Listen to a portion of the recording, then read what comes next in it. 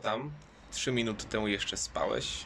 Ja tak, ale to jest najmniej istotne teraz, bo zaczynamy, moi kochani, kolejny odcinek wakacyjny. Pozdrawiam Was z balkonu yy, i zapraszam do kolejnego rozważania Bożego Słowa.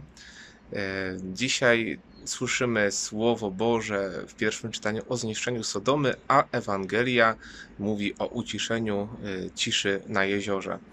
E, Te dwa czytania pokazują nam e, pewną taką jedną rzeczywistość, że w życiu spotykają nas różne doświadczenia. Czasami są one bardzo trudne. Y, Pamiętacie już tą Ewangelię, kiedyś sobie omawialiśmy, kiedy uczniowie prosili Pana Jezusa, żeby ratował ich boginom. Y, W różnych doświadczeniach y, Bóg czasami nawet, można powiedzieć, wystawia na próbę naszą wiarę. E, To nie chodzi o to, że e, Bóg chce naszego cierpienia. E, Czasami tak po prostu się też dzieje. Ta burza na jezioro to nie jest, że koniecznie, że Pan Bóg musiał ją wywołać. Po prostu burze na jeziorze się dzieją. Tak samo burze e, dzieją się w naszym życiu. E, Ale jest to okazja, żeby pokazać Jezusowi naszą wiarę, żeby tą wiarę jeszcze bardziej umocnić, bo ta wiara uczniów się umocniła, nie byli jeszcze na takim poziomie e, wiary przed tą burzą. Dopiero doświadczenie e, tego, co Jezus zrobił, jak uciszył, wszyscy się zdumieli. E, Jak, jak, te, jak to możliwe, że nawet woda, że nawet wiatry są mu posłuszne. E, Więc w różnych doświadczeniach ta Ewangelia uczy nas, żeby ufać całkowicie. Zobaczcie, e, Jezus cały czas kontrolował sytuację, nawet gdy spał. E, Tak się wydaje czasami, że może Pan Bóg śpi w naszych doświadczeniach.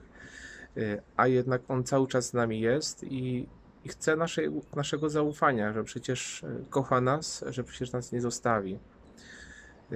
Żeby przetrwać różne doświadczenia, nie tylko potrzeba naszego zaufania Bogu, ale też prawości y, i czystego serca. Potrzeba też zaufania y, Bogu, y, w Jego słowo. I to też widać w tym pierwszym czytaniu, kiedy żona Lota ogląda się nie zaufała Słowu Bożemu, chciała zobaczyć. e, Trzeba być wiernym Panu Bogu.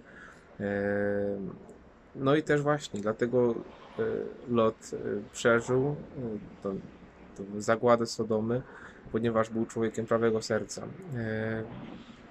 E, Czasami to nawet nie chodzi o karę Bożą, ale wiele różnych doświadczeń przeżylibyśmy wtedy, kiedy byliśmy, bylibyśmy ludźmi prawego serca. E, A właśnie czasami, czasami te, to odejście od Boga jest samo, ponieważ y, można powiedzieć, kiedy od Pana Boga odchodzimy, y, tracimy, tracimy często grunt pod nogami, bo, bo, bo jednak to prawo Boże, które Pan wymyślił, jakoś nas, y, jakoś nas trzyma, y, żeby, żeby się jakoś nie, w życiu nie pogubić. Dlatego, kiedy jesteśmy wierni Panu Bogu, jest nam łatwiej, żeby w naszym życiu się nie zgubić. Więc bądźmy Mu wierni, ufajmy Mu we wszystkim, bo On nas kocha, bo On się o nas troszczy, a także bądźmy wierni, bo te yy, drogi, które wymyślił Pan Bóg, to co dał nam w przykazaniach, jest najlepszą drogą, żeby się ostać w tym pokręconym dzisiaj świecie.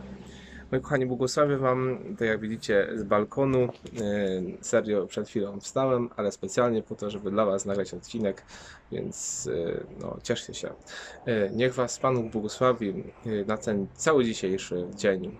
Niech Was błogosławi Bóg Wszechmogący, Ojciec i Syn Duch Święty. Amen. Dobrego wtorkowego i wakacyjnego dnia. Z Bogiem.